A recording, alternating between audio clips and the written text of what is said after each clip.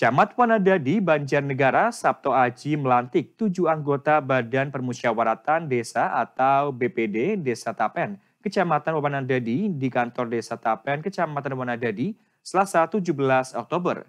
Para anggota BPD yang dilantik akan menjalankan tugas selama enam tahun dari tahun 2023 hingga 2029. Camat Wanadadi Banjarnegara melantik anggota BPD Desa Tapen Kecamatan Wanadadi Banjarnegara di kantor Desa Tapen Selasa 17 Oktober 2023. Terdapat tujuh anggota BPD yang terlantik di Desa Tapen dengan jumlah penduduk sekitar 2.500 jiwa. Camat Wanadadi Sabto Aji mengatakan ketujuh anggota BPD yang dilantik akan menjalankan tugas selama enam tahun – dari tahun 2023 hingga 2029.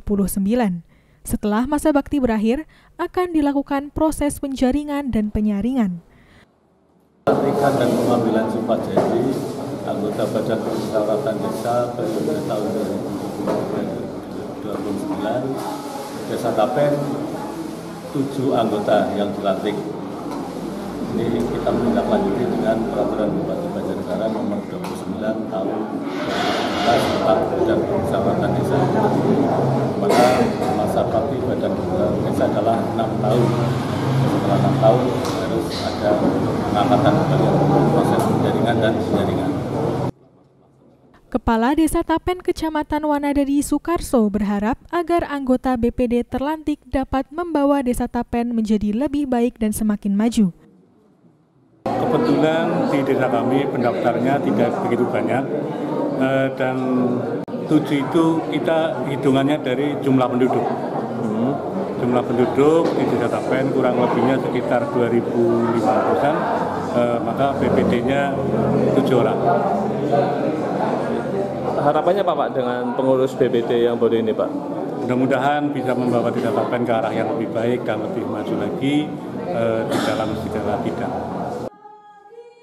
Anggota BPD Desa Tapen Sukoyo mengatakan program pertama yang akan dilakukan di antaranya menindaklanjuti program BPD sebelumnya, serta program baru melaksanakan persiapan pemilihan perangkat desa.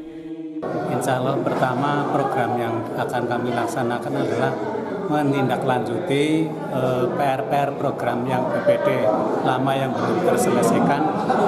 Kemudian program yang baru adalah eh, melaksanakan persiapan pemilihan perangkat desa karena ada dua perangkat yang saat ini kosong baru purna. Desa, perangkat apa itu Pak? Kaur keuangan dan kaur keserah.